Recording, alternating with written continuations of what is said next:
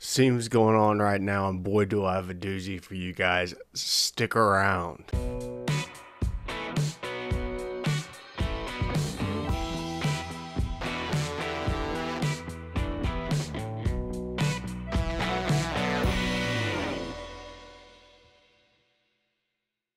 What is going on, everybody? Welcome back to the garage, and let's just get right down into it. This has been something I've been excited to talk about for a long time now, and finally today, the embargo is lifted.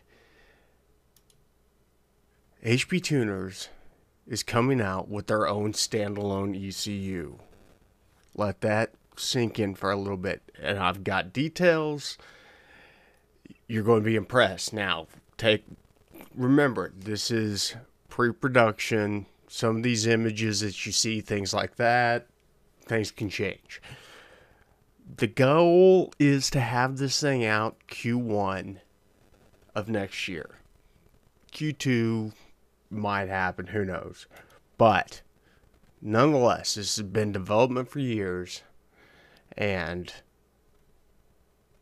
it's going to be pretty epic. So let's talk about what they have lined up for some of the initial stuff. I'm just going to read you kind of the press release here, and then we'll go over some of the specs that I have. But and this is specifically, it's like uh, we're at SEMA 2023. This is the release that they they would you would have heard there if you were at SEMA.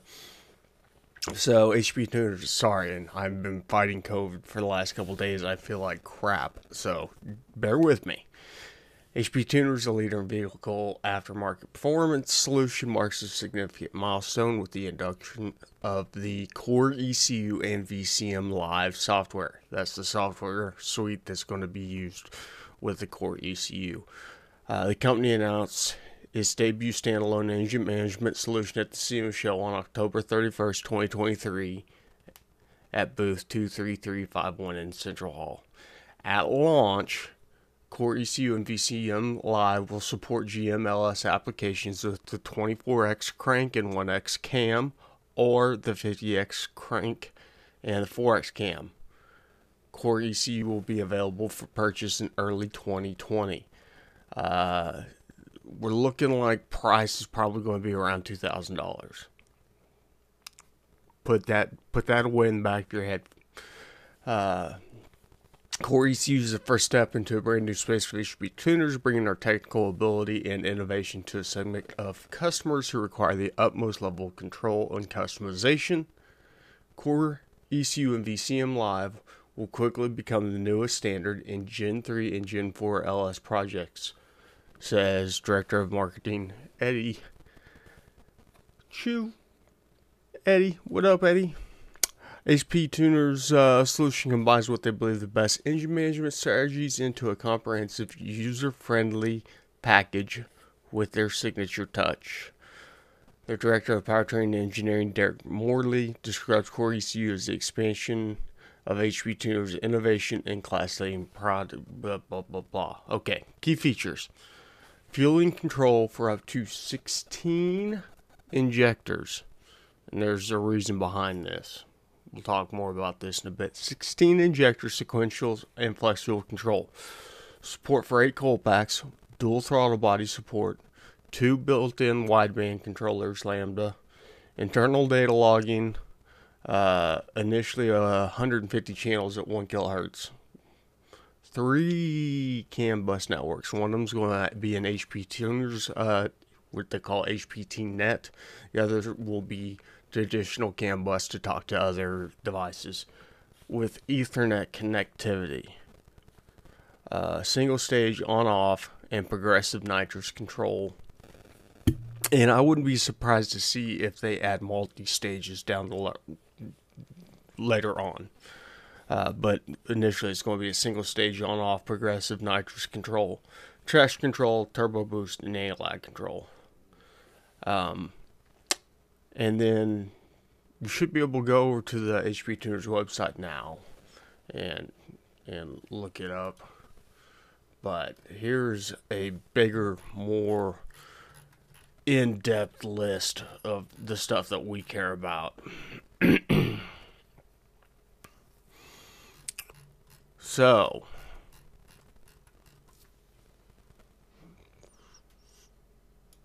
show some of these other pictures. Good form factor.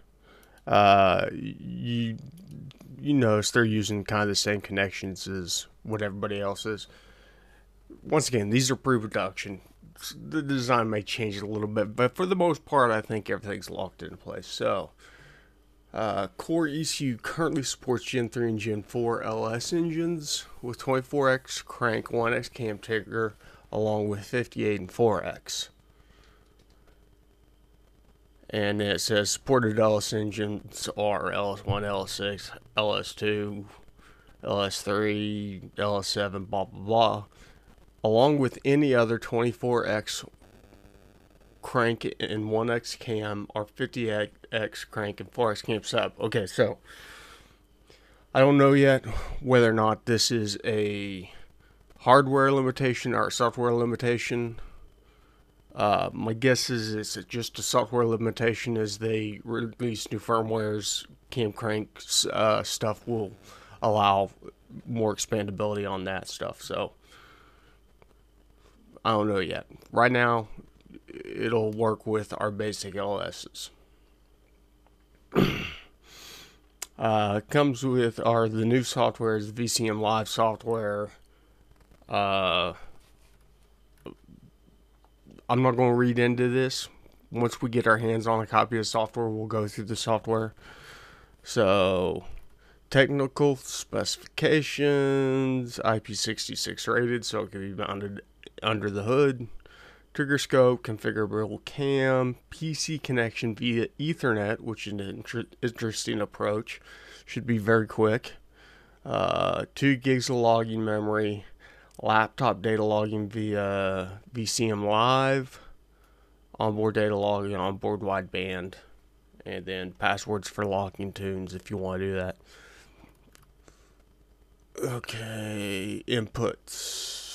This, doesn't have a number. Strategy functions. I don't really care about that. But Okay, the 16 injector thing is they're going to be high impedance injectors. There's not going to be low impedance drivers on this thing, but having the ability to do 16 instead of just 8 means instead of having to run 8 low impedance injectors whenever you get above, say, like 1500, 2000 horsepower, you can just run 16 injectors in a sequential and it's cheaper. You get better re- resolution on the injector control, and so I understand why they went with 16 injectors as opposed to uh, having high impedance support on this. Or low impedance, sorry. Uh, you know, everything else pretty standard, flex fuel, cold packs, all that, blah, blah, blah. Let's look at, they have a comparison diagram, and uh, as I said, if you look at the list of ECUs this is being compared to, this is not being compared to things like the Terminator. This is top tier level stuff like the Dominator, uh, the Elite 2500 from Haltech, Fueltech FT600. But here's the breakdown. Very simple comparison. Uh, low side injector control. Uh, user configurable outputs, PWM, which can be used for a lot of different things. Essentially, it's a way that you do uh, analogs. Digital outputs, uh, we're going to have four of those. Then we have 12 additional low side outputs this is a big one. We've got four 5 amp high side outputs, and then we have four that we can half bridge, which is another important one. So, pretty decent amount of outputs. Input side, we've got four digital inputs. Uh, those are the user definable ones. Then we have our uh, cam crank, crank cam and speed input. So interesting enough, you can see that we've got one crank and four cams. So eventually, I'm guessing there will be support for dual overhead cam like the uh, Coyote and stuff like that. And then we've got four uh, Hall effect or our VR sensor speed inputs that are hard encoded. Uh, analog inputs 12 but can also be used as digital, which is nice. Uh, and then we've got six 12 bit NTC temperature inputs, which is kind of crazy that they've got six dedicated temperature in- inputs. So, uh, waterproof IP66, trigger scope, yes, which is nice, so you can see your counts on your uh, for troubleshooting whenever you have crank or cam sensor issues three CAN channels, uh, Ethernet PC connection, configurable CAN, which is important uh, for guys like me that like to be able to actually set up the CAN bus to talk to different devices that normally wouldn't uh, talk. Uh, logging frequency VCM live is 100 hertz, onboard is 1000 hertz. two 4.9s, single station axle control, boost control. So transmission control, it lists the 4L60 and 4L80E. That's not going to be available at least right now. That obviously is going to be one of the things that's going to be available very soon. Uh, they are working on, but as far as I know, it is not.